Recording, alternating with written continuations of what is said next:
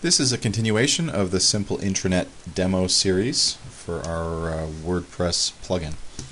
This one's going to focus on forms. So I'm at the Simple Intranet menu and I scroll down to create forms. So this brings us to the forms menu. I've already got an expense claim in here, but I'll show you how to create a new form and then insert it in a page or post.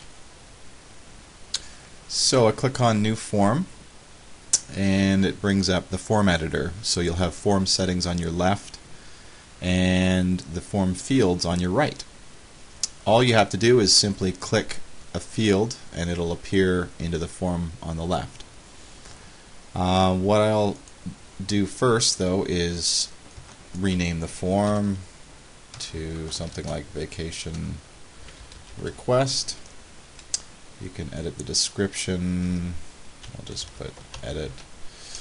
And if you click elsewhere, it'll save it. Well, actually, it won't save it. It'll save it temporarily. You have to still save the form. So let's add some fields. Let's go to the Advanced Fields area. Click on Name, uh, Address, and Email. And I'm just left-clicking each of these, and as you see, they appear on the left-hand side in the form. Um, good idea just to save the form. And we don't want to preview it yet. We'll just continue editing this form.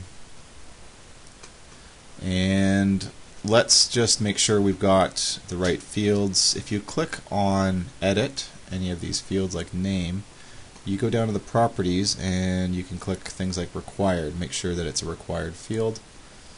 Um, double click that again and same for uh, address. You want to make sure that it's a uh, required field.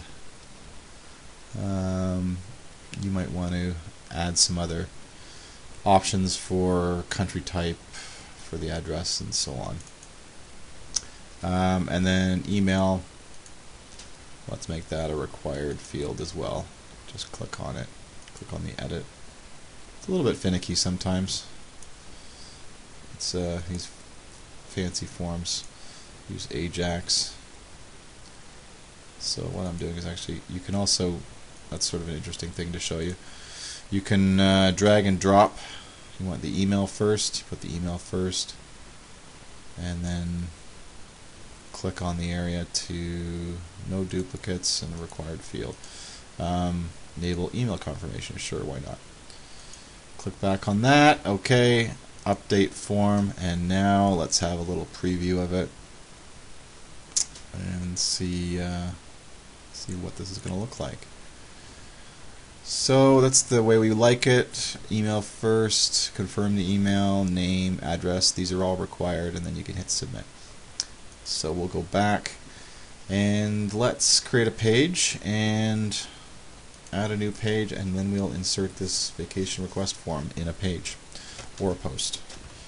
Uh, forms, we'll just put the, the title of the page, and just simply use this add form icon next to the add media.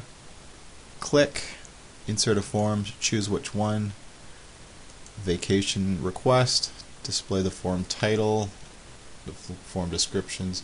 You might not want to put the title in, you might uh, enable Ajax, yes. In this case, I'm not putting the title in. Um, then I can put the vacation request up here and then publish it. And so you'll see the short code is in there, form with an ID number Let's go view the page to make sure it's nice and fancy. Vacation request. Mm, we put some text there. Email. Yep, so let's just try it. Let's put, uh, I just got an autofill here. And hit submit. And it says thank you for contacting us. We'll be in touch shortly. So we can we can change that uh, setting back in the forms area too under options. Um, but that's really basically it. So then you go back to forms, you can have a look at your entries by each form. You can export them to CSV. Um, you can, uh, yeah, you can have a look at, uh, let's see here.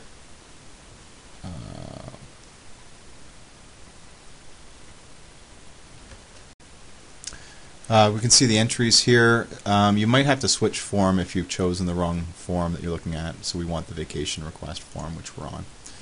Um, so there you go. You can uh, view the entries and um, change the notification settings uh, for your forms as well. Um, things like um, email from and so on, um, how you want to get emails triggered from the form um, to email the, the administrator or however else you want to do it.